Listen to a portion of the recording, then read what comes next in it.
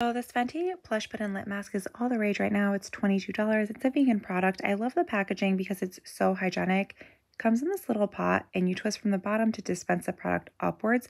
The first time you use it, you do need to push more than usual.